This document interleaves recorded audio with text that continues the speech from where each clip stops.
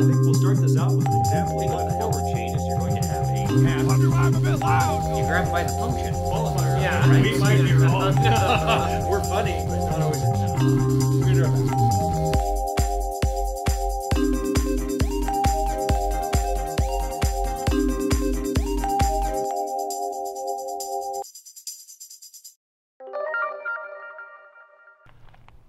It's all good. Y'all see that back there? That thing right there. You know, it's kind of got this bald spot on it. They call that an eagle, bald eagle. No, bad. Sorry. And that's a whole. I'm getting ahead of myself. Anyway, that is a, is a pseudo mountain.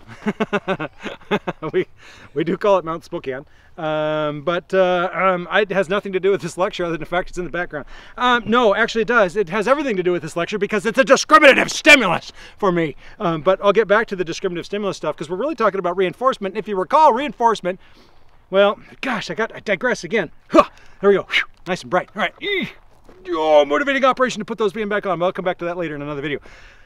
Yeah, all right. So anyway, reinforcement. Um, by itself, reinforcement. No, I can't do it. Sorry. I, motivating operations. It's just that's just too. Oh, so much better. That's reinforcing.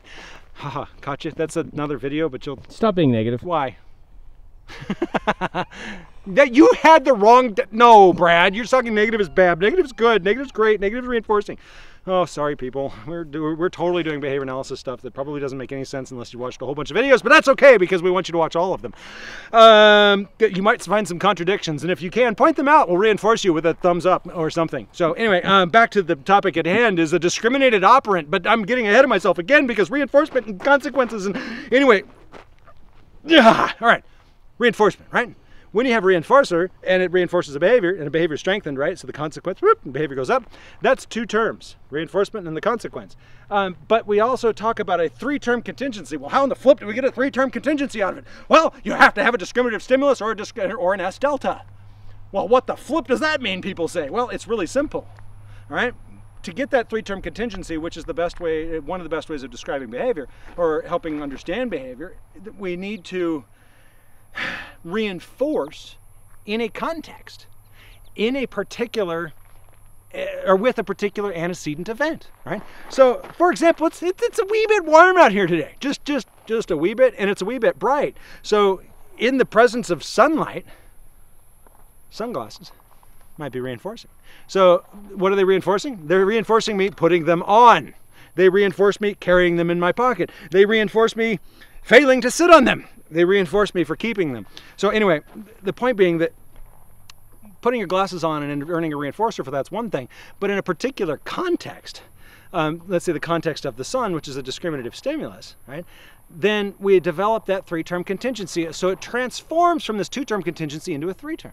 So that three-term contingency is about a discriminated operant. All right, dude, that was stupid. That three-term contingency is about a discriminative stimulus. So something that signals that reinforcers are available, or an S delta. And S delta is something that signals that no reinforcer is available. Okay, so there's another great video on that and basketball games at Gonzaga. So anyway, go look at that one um, to understand S deltas. So when we add reinforcement in a particular context, then we get this three-term contingency, which is why we can't separate discriminative stimuli from the whole thing. Because in order for an SD to be an SD, it has to signal that reinforcement is currently available. In other words, if you engage in behavior, blah, whatever it is, you can earn a reinforcer. And S delta simply says if you engage in behavior, blah, you're not going to earn a reinforcer. These things are simple, folks. Okay, um, so that three-term contingency doesn't come out of somebody's bomb. It's not just pulled out of Skinner's. Well, we'll leave that alone. Um, but uh, he didn't just magically say there's three terms. Um, it it was developed as a result of experimentation and understanding the, um the the details of what happened in those experiments, and that reinforcement was never out of a context. It's always in a context, which is why, folks, that one behavior in one setting is reinforced, but that same behavior in a different setting, you know, isn't reinforced. If you go to a movie theater and put on your sunglasses, people just think you're flipping weird or super high or something. They don't. It's not a behavior that's typically reinforced in that setting. So we have to keep that in mind. That the value of a context comes from what happens in that context not just from the context of it in itself. So if, if reinforcer happens in a particular context, that context might become a discriminative stimulus. Now you have a three-term contingency. That whole thing, when we put it together, it's another term for it. It's called a discriminated operant. It can be a little bit tricky to understand, but just realize it's understanding what to do, when to do it, and earning a reinforcer for it. I, I, understanding. God, that was so anti-behavioral, but it makes the point, doesn't it? Right. So uh, engaging in appropriate behavior in a particular context earns you a reinforcer. When that has been established, when that pattern is there, then you have a discriminated operant. Forget that whole understanding thing. It's just a way to help you understand it. in other words, being able to explain it to somebody else, that's what understanding really means. Anyway, hopefully I understand it and you listened and you learned something. So reinforce me, reinforce Brad along the way. Wave at us um, in the in the comments. You can wave, I guess, in the comments. That we might not see you, but feel free. Or say something, or just you know drop us some cash. That might be kind of nice. We like those reinforcers.